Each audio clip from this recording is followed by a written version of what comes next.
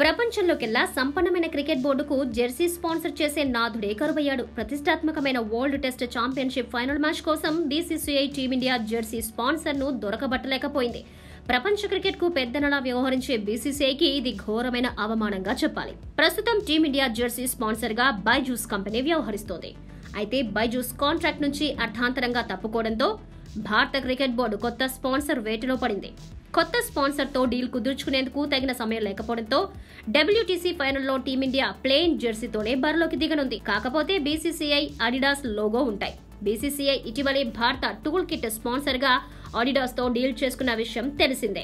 ఇదిలా ఉంటే భారత్ ఆస్ట్రేలియా జట్ల మధ్య ఓవల్ మైదానం వేదికగా జూన్ ఏడు నుంచి వరల్డ్ టెస్ట్ ఛాంపియన్షిప్ రెండు వేల ఇరవై ఒకటి ఇరవై మూడు ఫైనల్ జరగనుంది. ఈ మ్యాచ్ కోసం ఇరు జట్లు ఇదివరకే ఓవెల్ మైదానంలో కఠోరంగా శ్రమిస్తున్నాయి.